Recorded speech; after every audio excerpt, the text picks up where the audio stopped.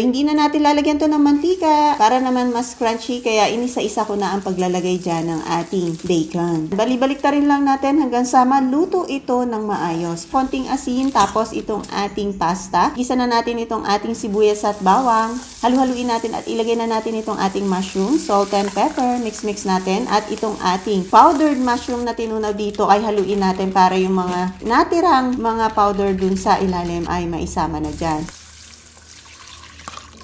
Dalawang all-purpose cream. Mix natin. Hintayin nating lumapot yan. Ilagay natin itong ating bacon. So, yung apoy dito ay medium heat na. Tapos, ilagay na natin itong ating pasta. Nag-reserve pala ako ng konting sauce dyan. Ilagay na natin dito sa ating serving plate. Ayan. More sauce, mas masarap. At lagyan natin ito ng cheese. At itong ating mas toasted na bacon. Itapping sa natin dyan. Syempre, itong ating parsley. Huwag na huwag mong kalimutan mag-follow dito sa ating Mami K of Fresh Cuisine na. Bye-bye!